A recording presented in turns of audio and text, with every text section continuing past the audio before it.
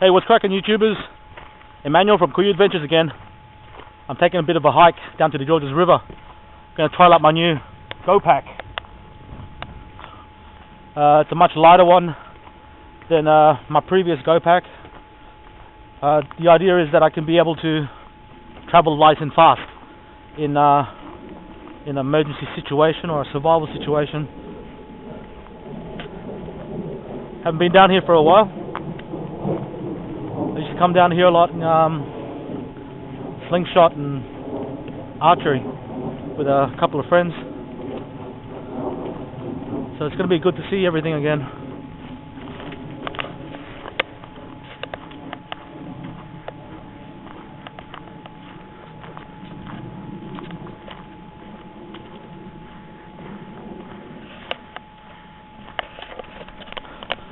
Okay, so I'm going to find a place to set up.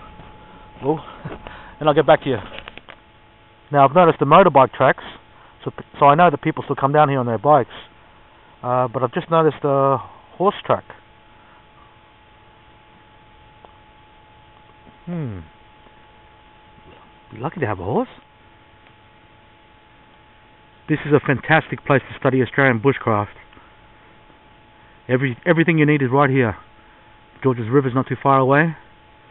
A lot of debris everywhere to to use.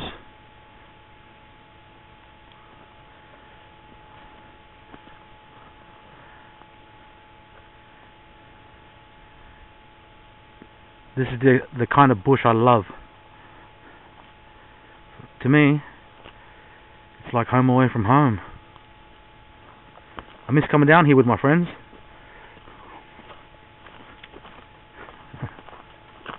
Got good memories down here. Okay, I just wanted to show you a little bit of the area so you can see what um what materials I'd be using to make shelter, fire.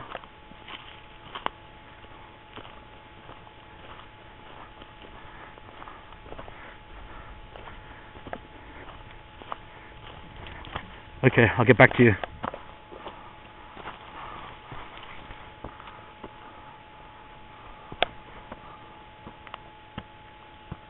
Yep. This is a good spot. This is where the river does a big U-turn. There we got bush music. I don't know if you can hear the birds. Yep. Yep, this is my spot for the day.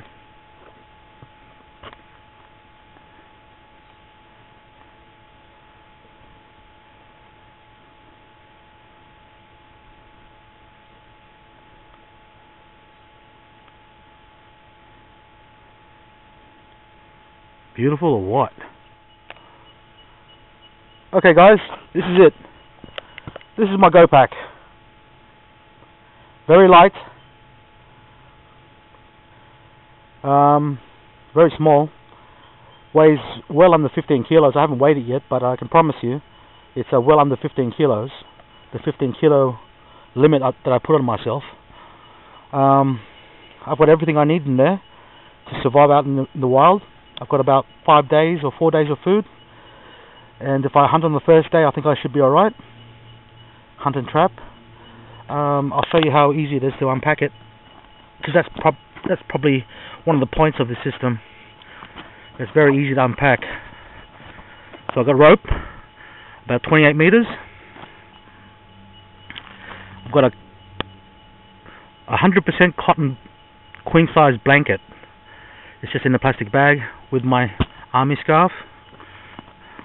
Got my hockey strap to keep it all together. In the front pocket, got medical kit. Everything for cuts, sprains, stomach aches, infections. Um, yeah.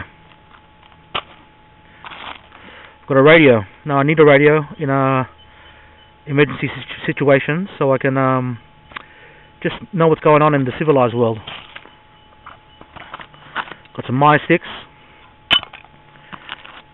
Now I haven't got much of a water capacity for my pack for my system, but uh, with these uh, Ziploc bags, I can carry at least four liters. Here's my torch, my dolphin, waterproof of course and it floats um, I'll show you what the rubber bands are for later so that's the front pocket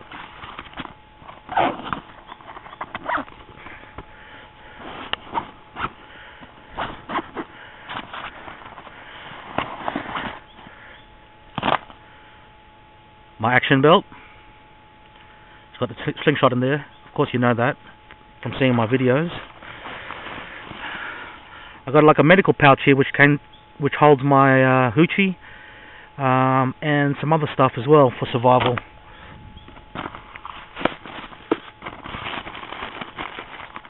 Nylon string. I know people are against it, but I find it very strong, and I always put it back in my pocket after I'm finished with it to take it home. And this here is my bag of food. Now in the sides I've got my gloves and a knife sharpener and the beanie on the other side. But uh, that's all that's in the bag.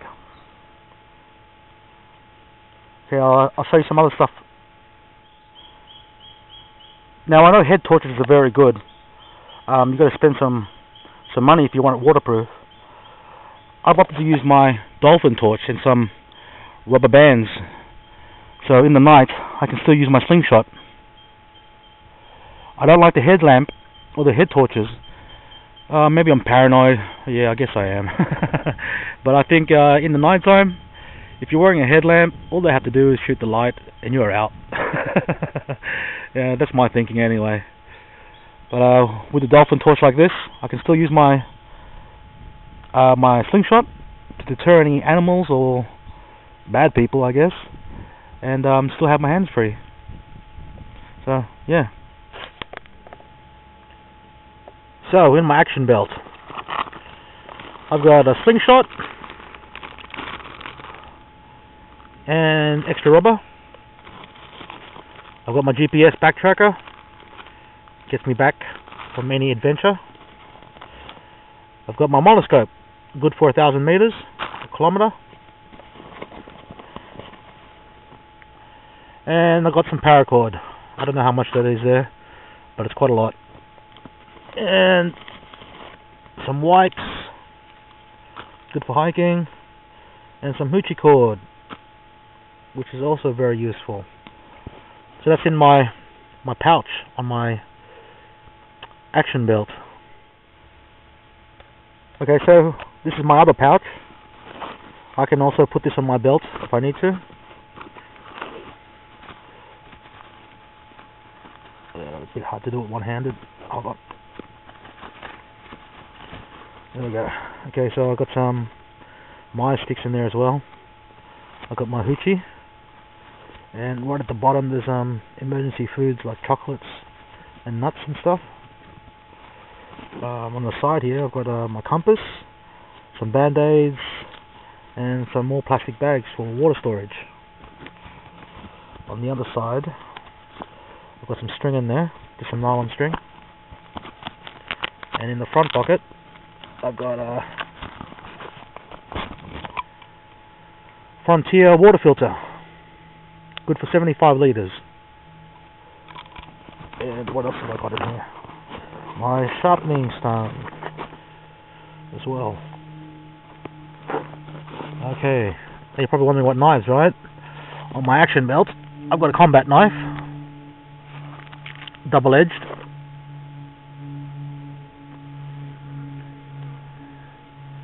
Makes me feel very comfortable.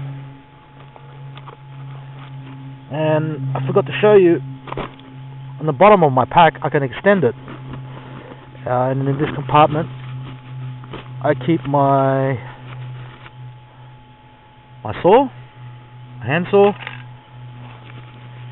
and of course good old trusty Mora blade. My favourite knife probably. Um yeah.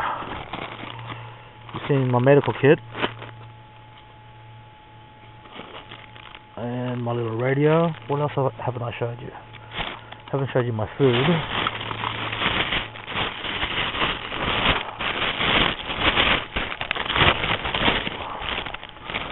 So in the bag, I've got a Hexamine stove, some fire starters, folding bowl, some tea, disinfectant, some bars, noodles, some rice, some sardines, some matches, chocolate, milk powder, and I think that's about it. That's about um, four or five days worth of food, I think. In a survival situation, I have to adjust my appetite, of course. So probably only one or two meals a day. But in the bag here, that'll give me enough um, time to hunt and uh, trap any game that's in the area. Uh, I, I, I suppose I have to say, if it comes down to it, you know, like uh, the end of the world, Armageddon, etc., etc., uh, I'm not alone.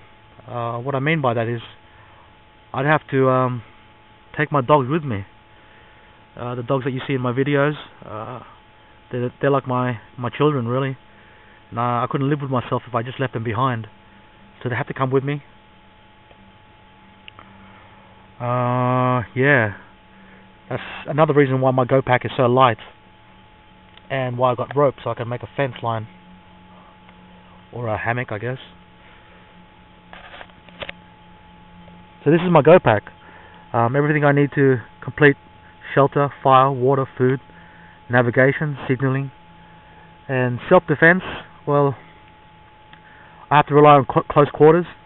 I don't have a, a very good distance weapon like um, other people do in their go packs, like a gun, a rifle, pistol. Unfortunately, um, I forfeited my right to have a, a firearm when I was young, younger. So I have to make do with slingshots and bows. But um, I'm pretty comfortable with that anyway. Self-defense, I think I got it covered. My brain's my biggest weapon.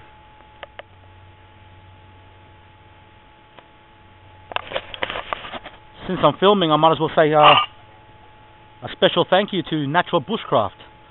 Now, I put a lot of thought into my EDC. I never thought of putting a Ziploc bag in there, just so I have that uh, uh, capability to, to store and carry water, which I think is crucial. So thank you, Natural Bushcraft. Much appreciated. You've helped me a lot. Uh-oh. The weather's starting to turn. The breeze is picking up. Clouds coming in from the east. I might have to head back soon. I don't feel like getting wet. Let me just say, like I mentioned earlier, I can extend my go pack at the bottom to uh, create more space for maybe carrying my jacket or firewood if it's constant rain. But um, if I take the action belt out of the bag and put it around my body, it creates even more space. And I think that's a good feature of my go pack. Okay, I'm gonna head back now. Go meet uh, my ride at the pickup point.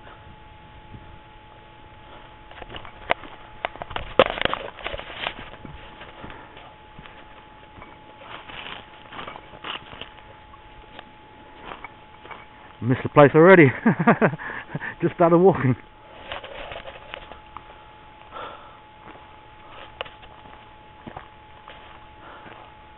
Looks like it's going to rain. Ah, lucky I'm prepared. Got my bug out bag. Should be prepared for anything. Theoretically. if I have to, I'll get my hoochie out, and I'll sit at the I'll sit at the pickup point, waiting for my ride.